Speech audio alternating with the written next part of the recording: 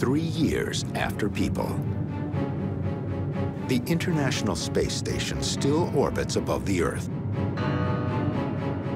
But without constant recalibration from terrestrial stations or boosts from space shuttles, the ISS loses two miles of altitude each month.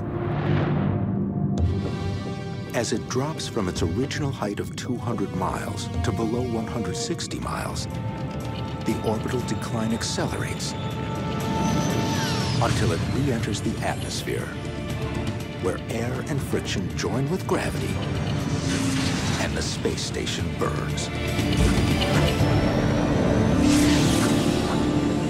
Incinerated in the descent.